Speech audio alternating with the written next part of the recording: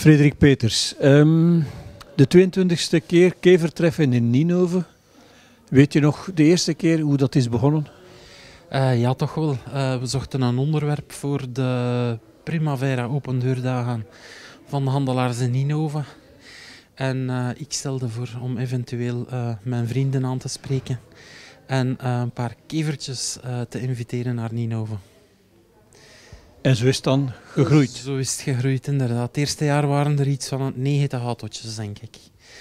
En hoeveel verwacht je er nu? Uh, dat hangt een beetje af van het goede weer. Uh, hoe goeder het weer, hoe meer uh, kevertjes. Ja, want ik laat me wijsmaken dat echt oldtimer-fanaten beducht zijn voor een spatje regen en modder zeker. Ja, moeilijk hè, moeilijk. Hè. Dat valt altijd moeilijk. Hè. Maar nu, uh, uiteindelijk hebben we veel buitenlandse bezoekers. En uh, zoals de mensen die uit, de Verenigde, uit het Verenigd Koninkrijk komen, uh, die komen eigenlijk al op zaterdag toe. Uh, dus die mensen zijn toch onderweg. Uh, die beslissen zondagmorgen niet of dat ze gaan komen of niet uiteindelijk. Die zijn er sowieso. Jij bent Miss Freddy Files. Leg eens uit, wat is jouw taak op het kevertreffen? Dus eigenlijk is er nu een fotoshoot geweest uh, waar ik heb aan deelgenomen. Uh, waardoor dat er dan uh, verder reclame eigenlijk werd gemaakt voor Freddy Files. Bij mij wordt er eigenlijk verwacht nu op de meeting zelf dat ik eigenlijk rondloop, foto's neem met auto's en uiteindelijk ook wel ehm, de prijsuitreiking doe.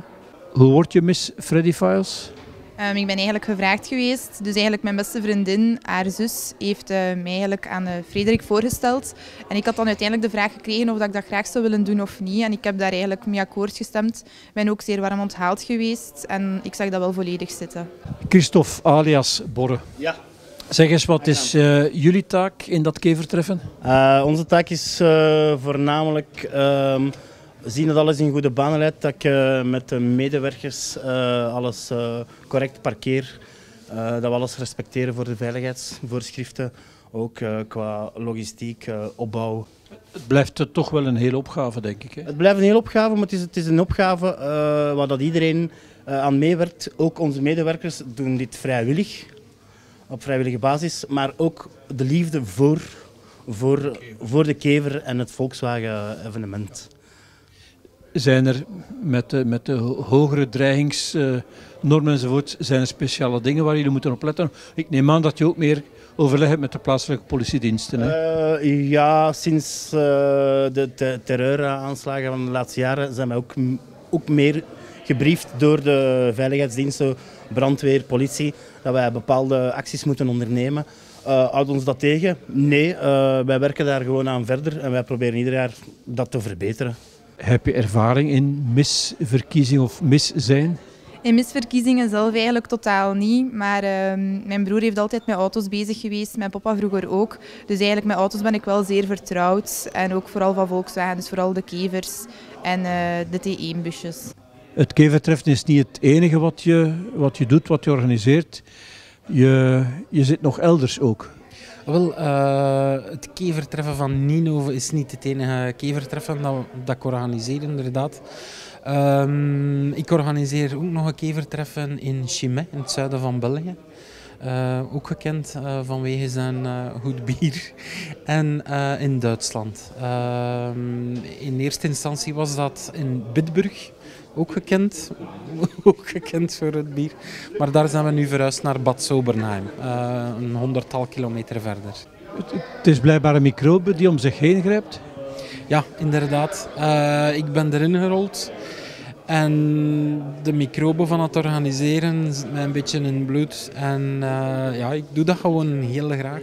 Rij je zelf met een kever? Uh, ik rij zelf met geen kever, maar ik rij wel met een busje. Ah, ja. ja. Dus uh, voilà. En doe je er zelf iets aan? Mechaniek, uh, carrosserie? Probeer, toch zoveel mogelijk uh, er zelf tijd aan te besteden. Voor mijn eigen. Indien het niet mogelijk is, moet je wel sommige dingen uit handen geven. Ja, ja.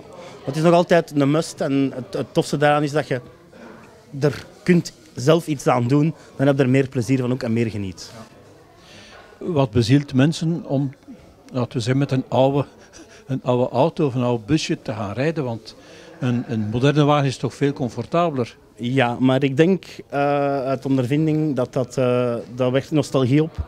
je, je, je, je moet er liefde voor hebben. Ook eh, kwestie als je met Kever of, eh, de, de Volkswagen groep begint, eh, komt in een andere zone terecht en je meer een familiegevoel. En daarom wordt het wel gedaan. Ik raad aan om zelf eens te rijden met een busje of met een kevertje. En u zult het, u zult het eh, evenaren wat wij voelen daarom. Overweeg je om er ooit zelf één aan te schaffen? Ik rijd nu zelf ook mee een Volkswagen, ehm, omdat ik dat van vroeger gewoon ben. Moest ik ooit de kans krijgen om een kever te kopen, denk ik wel dat ik het zou doen. En dan wat lessen automechanica volgen of, of, of is dat te veel? Nee, daarvoor heb ik mijn broer. En wanneer heeft de 22e kevertreffen plaats? 17 maart 2019. Ninov Media is het regionale nieuwsmedium voor Ninove en de Denderstreek. Tip onze redactie bij nieuwsfeiten en evenementen uit Ninove en de Denderstreek op ninovmedia.telenet.be of 0495 69 32 72.